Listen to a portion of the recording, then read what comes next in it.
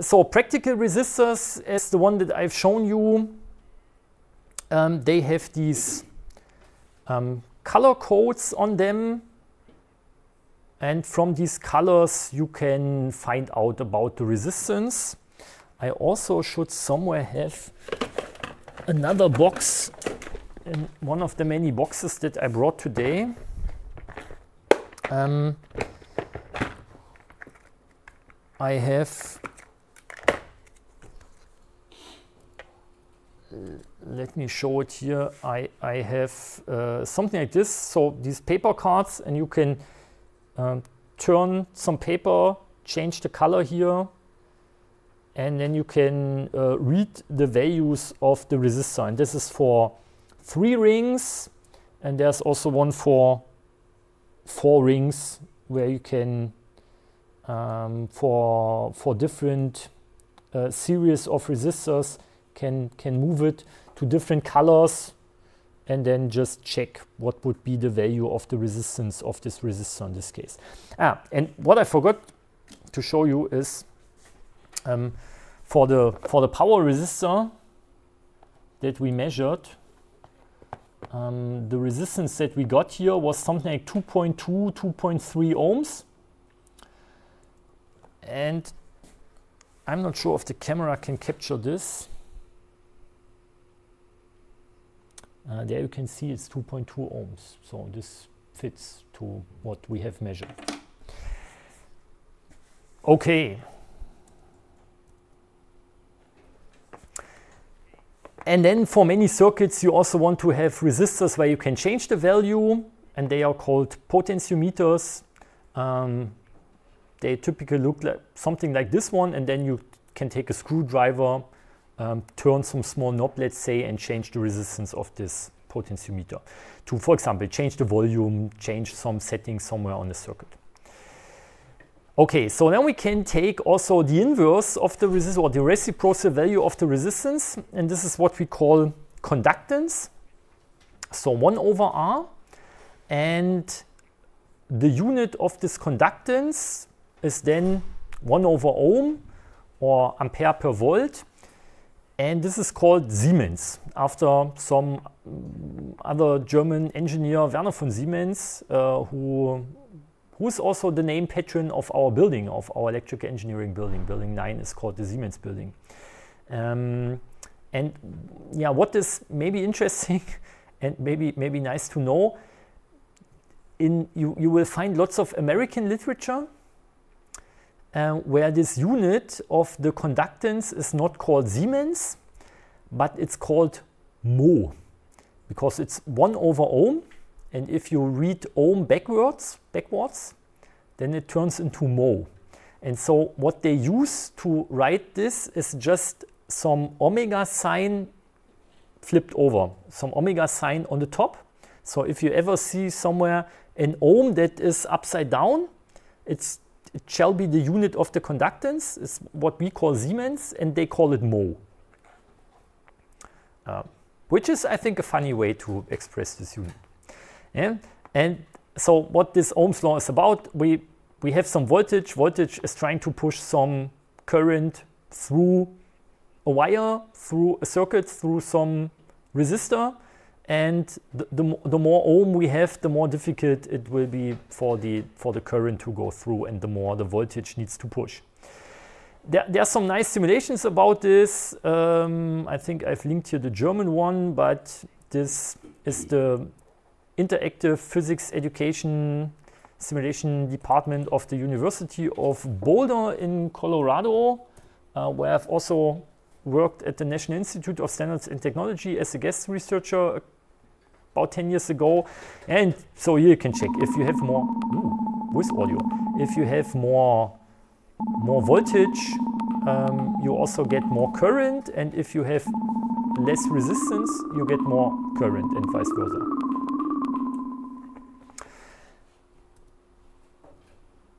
And I think there's also this is only available in Germany or in German. Yeah, you can um, close the circuit. Um, ah, and we have to switch on the source.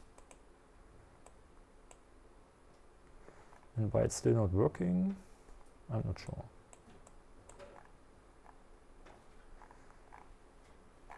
Maybe my browser is too slow. Okay, this, this obviously does not work, but there are many online simulators where you can try something out like this. And then, um, now the next question is how to calculate resistance. And to calculate resistance, you need something that is called conductivity or resistivity. This is some property of the medium. Um, you need length of the wire and you need the cross-section area. And there's also a nice simulation for this. And if I change the DE into some EN, then it should also hopefully load some English version.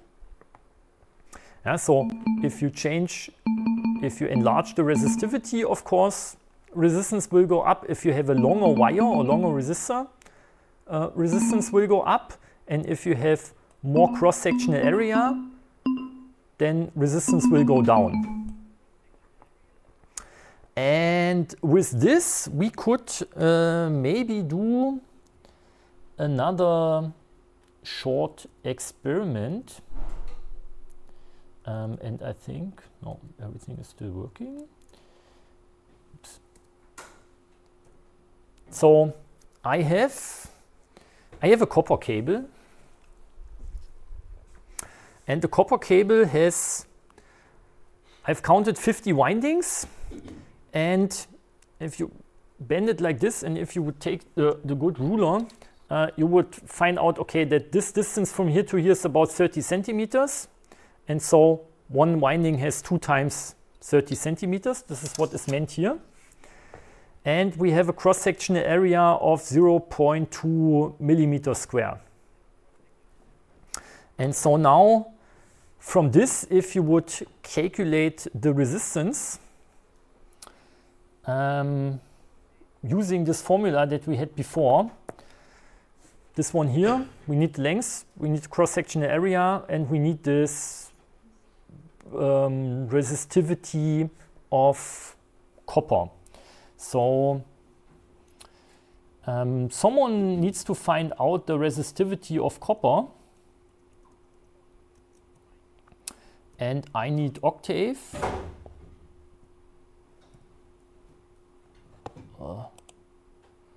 And my computer is very slow. Hopefully it will not crash. But it's not super hot today. So there's Octave. And maybe it's loading.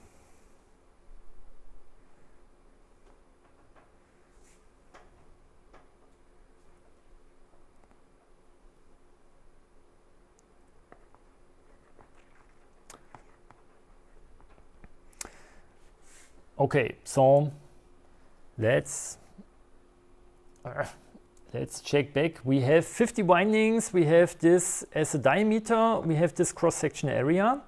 Uh, from this we can calculate the length. And does anyone? No, I think I've maybe opened it two times. Okay, but but there we are. So length is 50 times 2 times 0.3, right? And cross-sectional area was 0.2 square millimeters. So how can I convert, can I convert square millimeter into square meter? Well, okay, we don't need we don't need to if we have the proper unit for the for the conductivity. Okay, then we will just leave it like this. And so then for rho we use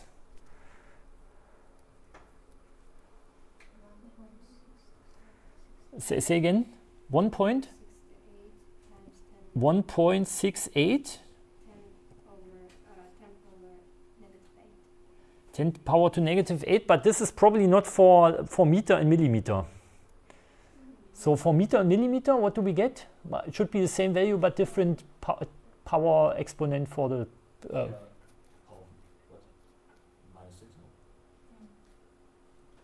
so this?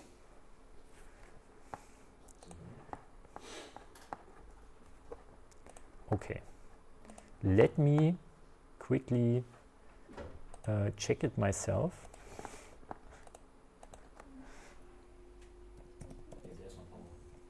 There's no power.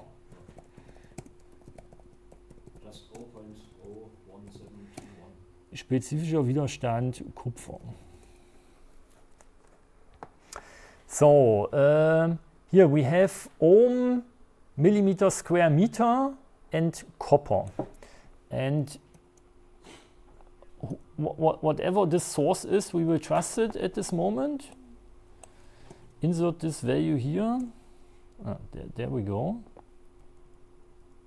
This is also what you have found, right? 0 0.0. Yeah. Um, like this. uh, 0.172. Okay. Yeah, I think it depends on what type of copper you have and how pure it is, let's say. But let's let's use this. And so now if we say R is rho times the length divided by the area, yeah, and we have area in millimeter squared, but the rho is also given with millimeter square, then we end up with something like 2.5 ohm. Okay, which could be that this cable has 2.5 ohm of resistance. So now if I try to find my camera window here once again and uh, remove my, my power supply and uh, try to find my multimeter back again. Ah, this one was over here.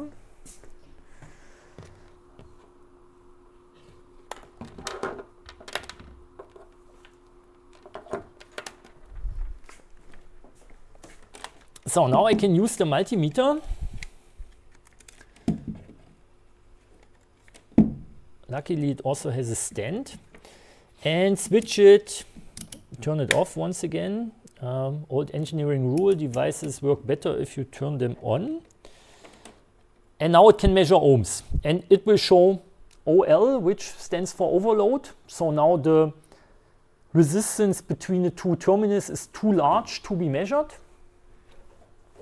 And if I connect them to each other, then it shows something like 0.1 ohm. 0.1 ohm is now, let's say, the resistance of the measurement wires and the connection here and so on. So it, it will not measure zero, it will measure something small. So if we start and measure our power resistor here from the beginning, then it will also show 2.3, which makes sense if you uh, subtract the 0.1 for the measurement cable, you end up with 2.2 ohms something that we also measured. Okay, so then let's take this cable here.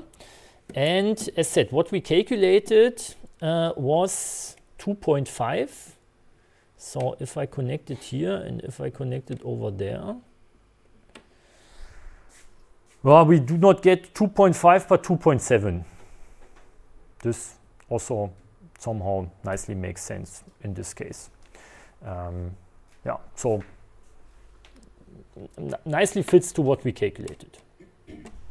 Maybe I should um, take a picture of this. Okay, great. So, ah, and the Kursname is in the chat saying Hallo zusammen, hello to everyone, hello back.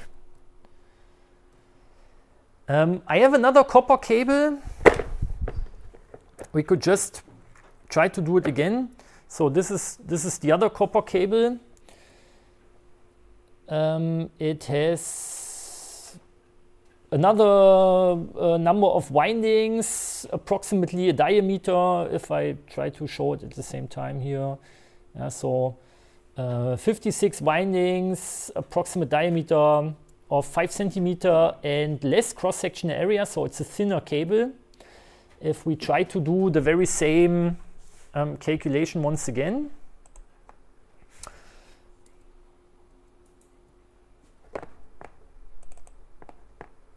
uh, if I try to make this a bit smaller, so now it's it's also copper, but the length is 56 times. So how can we calculate the um, what is it called, circumference uh, from the diameter? p, p times the diameter, so p times 0.055 centimeter into meters. So we get this length and the cross-sectional area is not 0.2 but just 0.1 and so if we calculate r once again we get 1.47 something like this so if I try to find my camera window here once again and measure the resistance of this cable of the smaller one here. So one terminal connected and the other terminal connected. Okay then we get 1.7 which also somehow makes sense right 1.5 uh, this additional 1.1 1.2 ohm for the connection. Um, this could also work this could also fit. Okay